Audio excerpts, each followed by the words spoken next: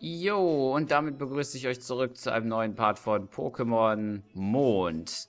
Wir haben im letzten Part, ähm, ja, ihr seht es ja unten, den, oder rechts besser gesagt, den, ähm, ja, den, ähm, Rotom-Pokédex bekommen, beziehungsweise ist Rotom in unseren Pokédex reingegangen. Warum, wieso, weshalb, man weiß es nicht, aber, na gut, Rotom ist ja bestimmt cool und er kann sogar sprechen, was ja ziemlich cool ist. Aber gut, okay, ein Wingul haben wir hier. Da ich schon ein Wasser-Pokémon und eigentlich auch ein halbes Flug-Pokémon habe, lohnt sich Wingul so gar nicht, deshalb fliehen wir. Ja, wir haben ja noch mit unseren beiden Freunden, hier sind wir gut dran und ich habe schon gerade auf der Karte gesehen, ich glaube, wir kommen gleich endlich mal zu einer Pokémon-Zitte. Das würde ich nämlich gut finden. Würde ich richtig gut finden, wenn ich das hier nämlich auf der Karte sehe, weil ich denke mal, wir müssen dahin, wo die rote Fahne ist. Ach, das Taurus ist auf einmal weg, alles klar. Bevor wir zur Trainerschule gehen, sollte ich dir wohl das Pokémon-Zitter zeigen. Folge mir. Ach, es ist wieder so ein bisschen ähm, Tutorial-mäßig. Ja, wie man es ja kennt. Am Anfang immer. Oh, sieht ja schick aus. Wenn du dich mit der Dame, wenn du mit der Dame dort sprichst, kümmert sie sich um die verletzten Pokémon in deinem Team.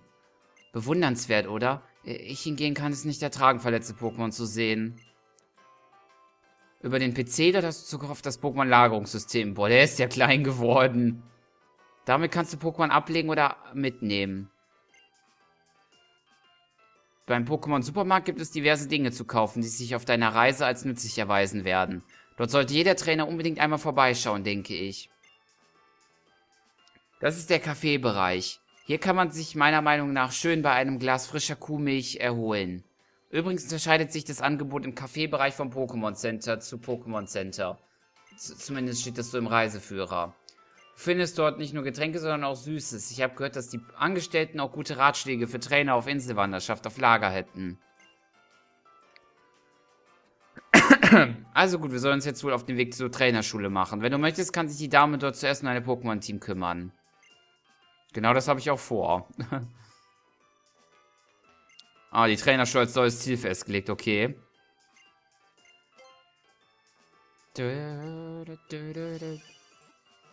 Das sieht echt geil aus. Habe ich ja schon in der Demo gesehen, hat man ja schon gesehen. Oh, der PC ist mal echt krass, wenn man sich bedenkt, wie das früher aussah. Das war so früher so ein Riesengenerator und jetzt ist das so ein kleines Teil. Ah, auch nicht schlecht. Ach, und das ist auch mal praktisch. Man muss, kann jetzt am Anfang nicht mehr direkt sagen, oder kann man jetzt nur noch bewegen, oder habe ich jetzt bewegen gedrückt? Ich habe jetzt gar nicht drauf geachtet. Warte mal kurz. Nee, tatsächlich, man kann jetzt nur noch bewegen. Äh, okay. Na gut, ist aber auch eigentlich richtig so, weil abnehmen und mitnehmen fand ich eigentlich früher meistens immer unnötig. Weil da muss man sowieso immer zweimal klicken und von daher ist das schon richtig praktisch. Man kann es natürlich auch wieder mit dem Touchpen machen, wie man das halt von Pokémon so kennt. Gut. Ach so, suchen. Ui. Praktisch, praktisch. Praktisch, praktisch, praktisch gemacht. Aber okay. So, was haben wir denn so im Laden Feines? Pokéball, Trank, Gegengift. Ah, ich nehme mal ein paar Schutz mit. Fünf Stück. 35? Wo haben wir denn 35 Geld her? Hat die Mutter uns damit so viel Geld beballert oder wie sieht das aus? Kann sogar Fluchtseile kaufen. Konnte man das immer? Ja, ich meine, ja, man konnte schon immer Fluchtseile kaufen. Ich nehme mal eins mit. 1000 ist schon ordentlich. Ja, und ansonsten Supertränke haben sie noch nicht. Naja, ansonsten lohnt sich da nichts noch weiter. Ja, wobei Gegengift und Paraheiler kaufe ich mir nochmal. Äh, Paraheiler nehme ich mal fünf Stück mit. Und Gegengift, ähm, acht. Genau, so, dann passt das jetzt hier. Wunderbar, dann schauen wir uns jetzt nochmal kurz an. Oh, schöner Teich im Übrigen. Indoor-Teich. Ist noch was hier bei diesem Kaffeebereich ist. Hier könnten sich Trainer eine kurze Auszeit können einfach mal abschalten. Was kann ich dir bringen? Och, ein Glas Limonade. Trinke ich die dann oder für das Pokémon? Oder ist das das Item? Limonade in der, in der Tasse? Okay. Ob du deinen Gegner nun kennst oder nicht, bei Hochkämpfen mit Zeitbegrenzung zeige ich das unermesslich hier. Verrückterweise führt das manchmal dazu, dass man völlig die Zeit vergisst. Und hier hast du eine kostenlose Dreingabe zu deinem Getränk. Die gibt es nur einmal pro Tag. Dieser Keks ist eine Spezialität aus Mahagonia City in der Yoto-Region. Okay. Ein Wutkeks. Alter, nicht schlecht. Oh, dass man das nicht sieht. Und das ist für deinen Pokémon mit den besten Empfehlungen. Einige Pokémon-Bohnen. Pokémon-Bohnen sind eine Spezialität aus Alola. Pokémon sind ganz verrückt nach ihnen. Fütterst du deine Pokémon bei einer Poképause mit Pokébohnen, werden sie zutraulicher. Bitte wäre uns bald wieder. Ja, gerne, gerne. Dass man das zwar nicht sehen kann, was da abgeht, aber egal. Gut, dann zur Trainerschule. Die Trainerschule ist... Oh, was geht denn da wohl vor sich? Ach, das Tauros. Da sehen wir es mal wieder. Wie es scheint, versperrt Tauros den Weg. Aber unser Ziel ist ja sowieso die Trainerschule. Also müssen wir uns wohl keine Gedanken darüber machen. Gehen wir hinein. Das klingt so, als würde es... Das ist doch sicher eine Schule für Pokémon-Trainer, oder? Ja, Rotum, das ist so. Eigentlich würde ich zwar denken, jetzt, dass da irgendwas ist, aber mit dem Ro... Äh, ich lasse es aber jetzt erstmal. Oh, Jake, ich muss wohl irgendwie... Muss euch irgendwo wohl, irgendwie überholt haben. Willkommen in der Trainerschule. Ein Muss für alle aufstrebende Trainer. Größer als sonst. Ah, Professor Kukui. Das ist also der Junge, der Unterricht erhalten soll. Genau, ich verlasse mich auf Sie. Vier Trainer. Deine Aufgabe ist es hier, gegen vier Trainer zu kämpfen, Jake. Die Erfahrungen, die du dabei sammelst, wirst du dich, wirst, werden dich und deine Pokémon stärker machen. Ach ja, wo ich gerade von Erfahrung rede. Danke. Brauche ich nicht. Wenn der EP-Teile eingestellt ist, erhält nach einem Sieg alle Pokémon in deinem Team Erfahrungspunkte. Bei dieser Unterrichtsstunde halten sich manche deiner Pokémon im Innern und manche außerhalb des Schulgeländes auf. In den einzelnen Klassenzimmern erhältst du außerdem hilfreiche Tipps. Also dann, der Unterricht fängt an. Schule muss das sein? Sie sieht vielleicht harmlos aus, aber ihre Schüler sind starke Trainer. Einer von ihnen wurde nach dem Abschluss sogar ein Captain. Noch ein kleiner Hinweis von mir. Wenn du einmal gegen ein Pokémon kämpft, gekämpft hast, wird dir angezeigt, wie effektiv eine Attacke gegen es ist. So bekommst du Infos zu den Wechselwirkungen zwischen den Typen. Um wilde Pokémon zu treffen, musst du einfach nur ins hohe Gras gehen. So sammelst du im Nu viel Erf Kampferfahrung. Dankeschön, die vier Pokémon-Trainer. Natürlich musst du sie auch noch besiegen. Das ist mir wohl bewusst. Sofortlink, Festival Plaza, wo kommt das auf einmal her? Kampfvideos, QR-Scanner, keine Ahnung, wo das jetzt auf einmal alles herkommt. Jetzt ja QR-Scanner. Lies mit dem Pokémon, ja, Pokémon Dancer, nein, das QR-Code-Scanner muss zwei Stunden warten, um ihn erneut verwenden zu können.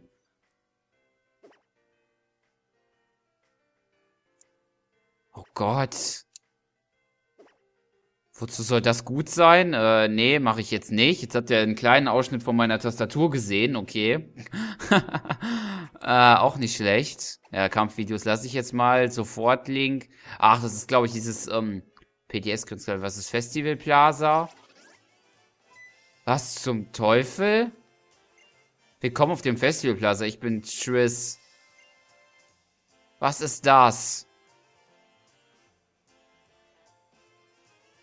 Der Festivalplatz ist ein geheimer Ort, an dem sich Spieler aus aller Welt mit Hilfe der Kommunikaz Fun Kommunikationsfunktion treffen können. Ich veranstalte gerade ein Festival, bei dem sich Trainer austauschen können.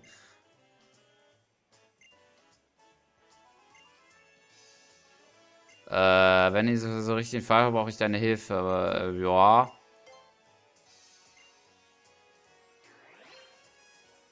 Ein Auftrag äh, hält sich bereits ein Besucher auf. Äh, okay. Was auch immer das zu bedeuten hat. Hallo.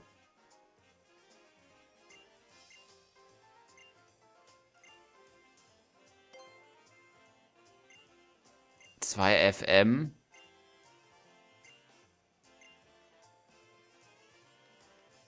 Ach so, ich muss, glaube ich, nochmal mit ihm reden. Was ist das?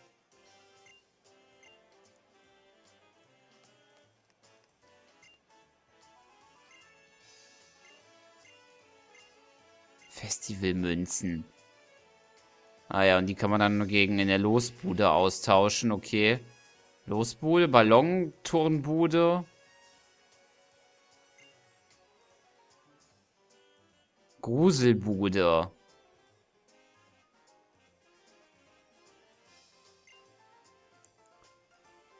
Imbissbude. Alter Schwede.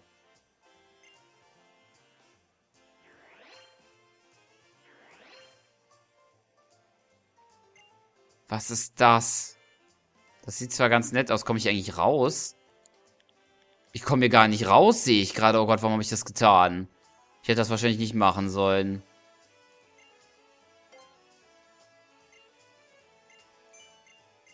Ja, ich denke mal, das ist relativ unnötig. Das ist mehr so jetzt nicht die Hauptstory. Ähm, ja. Gibt zwei von diesen Dingern. Okay, ich gehe mal zur Losbude.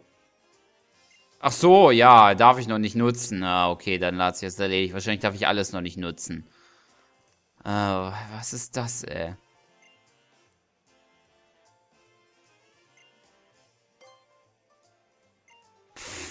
Relativ unnötig, wenn ich ehrlich bin. Rang 2, okay.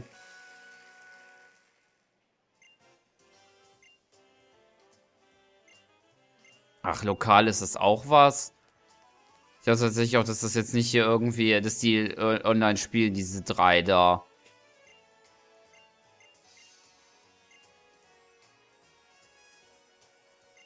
Das große Los 1. Aha.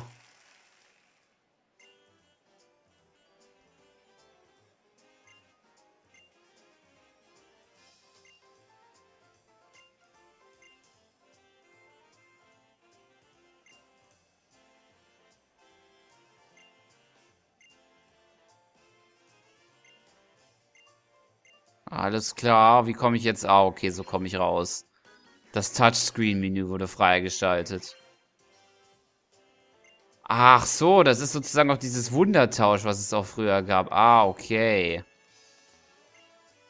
Erinnert mich aber auch so ein bisschen an, ähm, an Pokémon Platin. Da gab es nämlich auch was so in der Art.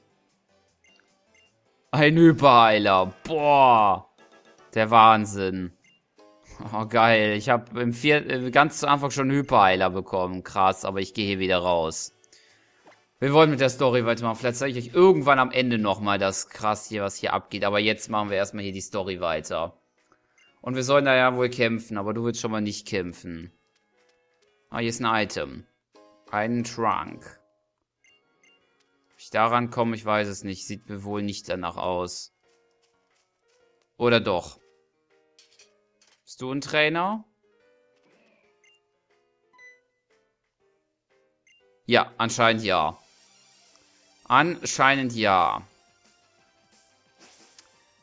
Knirps Alex. Der Alex. Der hat ein Safkon. Oh, super. Ein Safkon. Ja, jetzt tut's mir leid. Ach komm, nee, das mache ich jetzt schnell mit, mit DF. Weil, nee, also, nee, lass mal lieber. Also nochmal so, so ein Safkon-Kampf. Ich glaube, den erspare ich euch lieber. Einmal reicht. Erspare ich euch lieber. Ach, der kann aber sogar schon Tackle. Na gut. Da will ich ja nichts gesagt haben. Aber nee, nee, nee, nee, lass mal lieber stecken. Wir haben jetzt schon genug äh, Zeit vergeudet, finde ich. Und warum muss... Och, komm, ich will diesen EP-Teiler nicht nutzen, habe ich gesagt. Och, komm. Kann mir das... Warum ist der automatisch schon eingestellt? Ah...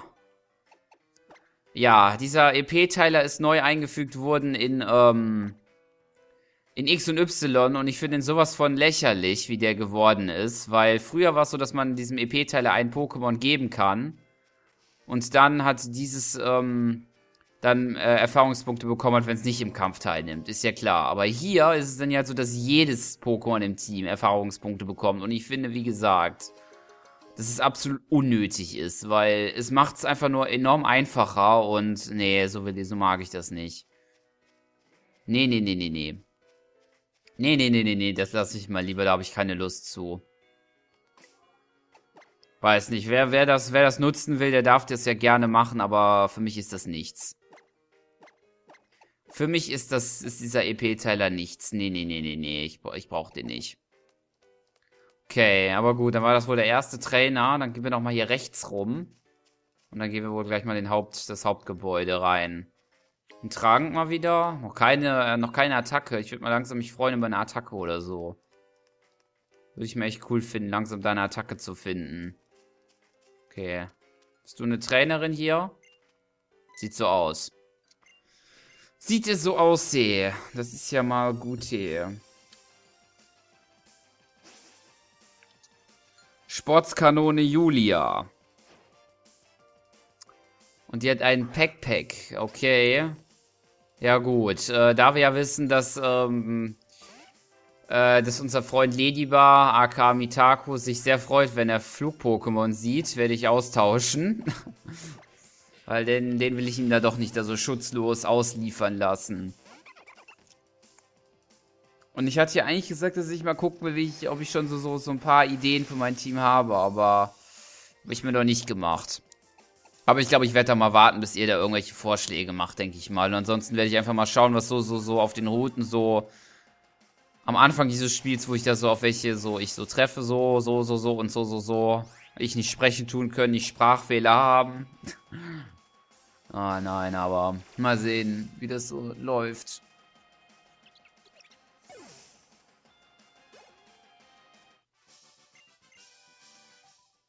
Aber wie gesagt, ich, ich mag das halt wie mit diesem EP-Teiler nicht so. Das ist, das ist irgendwie nicht so.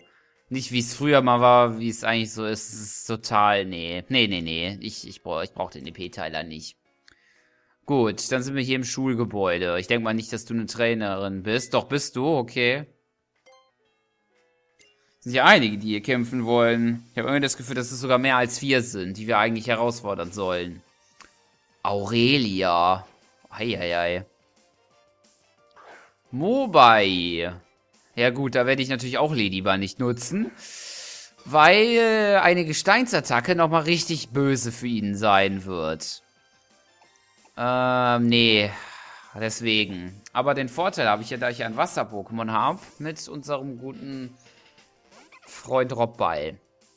Trugträne. Was macht das nochmal? Spezialverteidigung, okay. Ja gut, ich denke mal nicht, dass so eine Chance ist, überhaupt anzugreifen, Mobile. Von daher... Aber Mobile, also finde ich mal cool. Ich finde es bisher ja echt eine sehr schöne Abwechslung, was die Trainer so haben. Das sieht man nicht, hat man bisher sonst nicht immer so gesehen. Mobile, ähm, Ladybar, also ich find's cool. Fliegenklaue, okay, auch nicht schlecht. Und ich glaube tatsächlich sehen wir zum ersten Mal eine Alola Mauzi. Ich denke mal, ihr seht es an der anderen Farbe. Weil hier gibt es ja, falls ihr es noch nicht wusstet, auch ein paar Pokémon, die... Das Mauzi setzt Mogelhieb ein, dass der Gegner zurückschrecken. Ja gut, was die Flinkau kann, das kann ich euch auch eben schnell sagen. Die Flinklau bewirkt, dass man eventuell schneller angreift. Erstmal angreifen, das ist der Notausgang. Ja gut, da muss ich da nicht hin. Dann gehen wir da in diese Schulgebäude rein. Boah, wie, wie das hier echt wie so eine Schule aussieht, aufgebaut ist. Nicht schlecht. Professor Koku ist für seine Forschung zu den Attacken der Pokémon bekannt. Deshalb laden wir ihn manchmal an der Schule Stunden, ein Stunden zu geben. Okay. Das ist ja mal sehr interessant.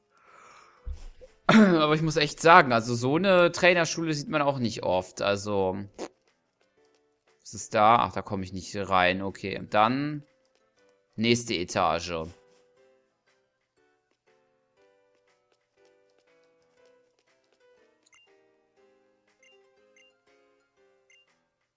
Ah, okay. Ja gut, also draußen haben wir wohl dabei gemacht, dann gucken wir mal hier weiter. Es geht sogar noch einmal höher. Ach, Lehrerzimmer anscheinend. Fleckmon äh, hat eine Attacke namens Gähner, mit der er seine Gegner in den Schlaf lullen kann. Schärft ein Pokémon ein, kann es sich erst wieder im Kampf mitmischen, nachdem es aufgewacht ist. Damit hat Fleckmon natürlich gute Karten, den Kampf für sich zu entscheiden. Ja, das stimmt. Ja, und erstmal hier am Lehrerzimmer wohl erstmal so, so noch so, so einen fetten Fernseher hier reinhauen, natürlich. Also damit wisst ihr, was, was die Lehrer da machen, wenn sie jetzt äh, nicht unterrichten. Nein, ich denke mal nicht, dass das so ist. Ich glaube, es ist schon eine sehr außergewöhnliche Schule. Muss jetzt mit jedem hier sprechen, um zu gucken, wer jetzt gegen den ich kämpfen muss. Okay, danke für den Trank. Der hat irgendwas von Yorkleaf erzählt, okay. Meines Wissens nach ein fünfte Gene-Pokémon, glaube ich. Aber gut, dann ist hier auch nichts. Ja, es ist ja schön und gut. War ich da drin? Ja doch, ich glaube, da war ich drin. Äh, ja, es ist ja schön und gut. Aber ja, wie geht's denn jetzt hier weiter? Oder darf ich da hochgehen?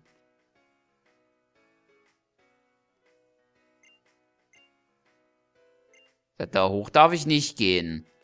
Aber ich habe doch jetzt schon jeden besiegt, oder nicht? Ich habe draußen äh, zwei besiegt, aber mehr finde ich hier nicht. Warte mal, ein, die Tür habe ich ja noch nicht betreten. Dann gehe ich ja nochmal dahin. Aber ich meine, das ist ja nur dieser Ausgang. Ja, hierhin. Ja, dachte ich mir. Hä? Wo soll denn hier noch was sein?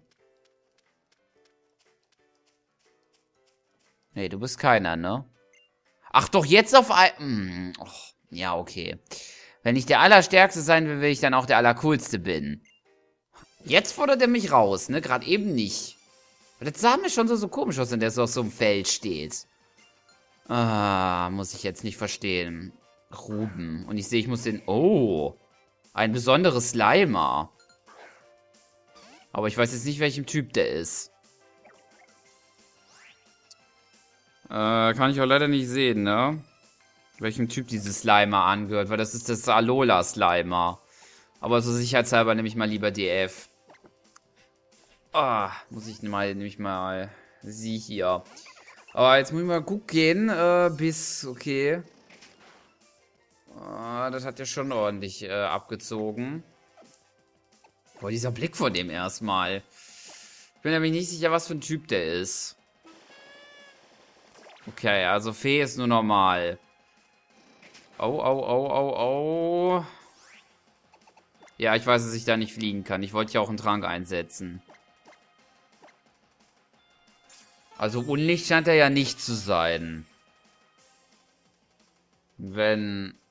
Wenn Fee-Typ normal ist.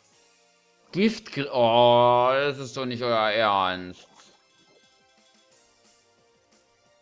Das ist doch jetzt nicht echt euer Ernst hier. Dieses... Äh Naja, ich traue mich nicht. Ich muss nochmal einen Trank einsetzen. Oh, das gibt's doch nicht. Also dieses Slimer ist schon ordentlich, finde ich. Okay, voll mit Pfund zieht aber dafür weniger ab. Okay, dann darf ich jetzt mal eine Runde wieder angreifen. Alter, dieses Slimer, das hat ja ordentlich Stil.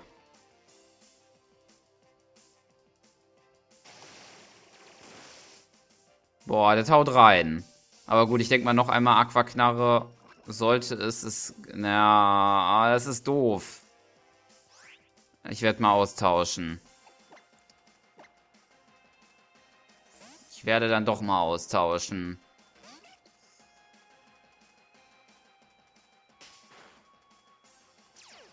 Ja, ist klar, ne? Ist klar.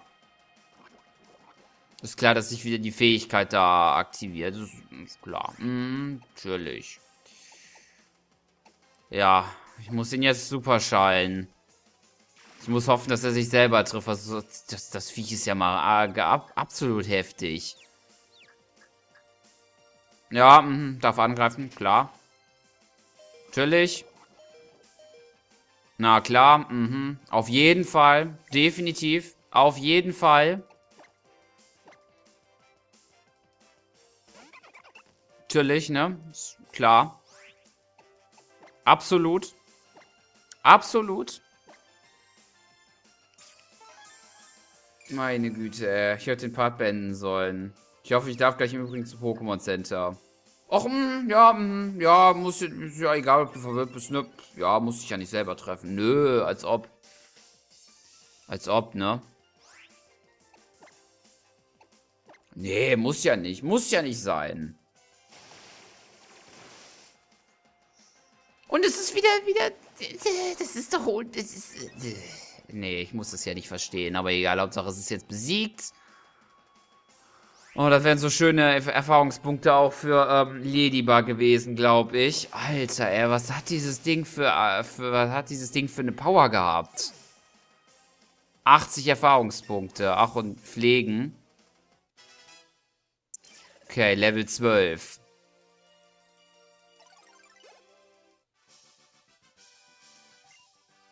Vielleicht fliege ich das jetzt direkt danach oder... Ah ja, tatsächlich. Medizin, ja.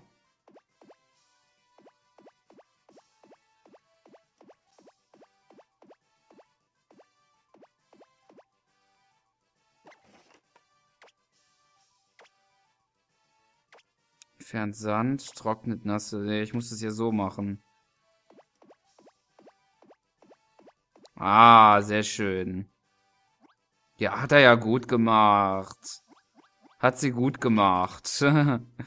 ganz, ganz gut gemacht. Ja, noch ein Leckerli verdient. Aber ich muss gleich äh, ihm auch noch einen geben. Dem Ladybar. Soll ja hier keiner zu kurz kommen hier. Soll mir ja niemand nachsagen, ich würde die nicht, äh, würde die nicht gleichwertig behandeln. Krab. Krab.